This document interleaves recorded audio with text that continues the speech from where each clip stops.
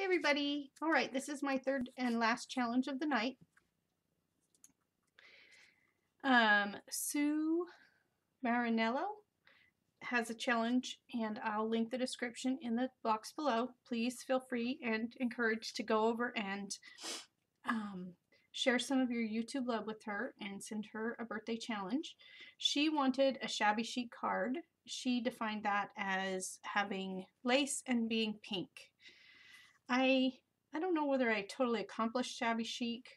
It's not usually a hard style for me, but I chose this big image, this big Prima image to watercolor, and I think it took up so much space on the card that there wasn't enough room for all the, you know, the usual layers and layers of lace and things like that. But it does have lace, and it is definitely pink. Um, so I used I used this paper pad, which is definitely shabby chic. It is called Antique Street, and it's from Craftsmith. It is one of the Michael's hot buys from, I don't know, a year or two ago, probably last year. I don't know. So I used this pink paper from it. And then there's some lace right here. Let's see if I can bring it in close and you can actually see. There's some lace right here and it's been floating around on my desk and it's really pretty. Unfortunately, it's mostly covered up, but that happens in shabby chic, right?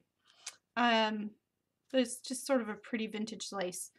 Then a heart doily, and then of course my image that I watercolored. Um, this background paper that I put on here, it looks like this. That's the Craftsmith.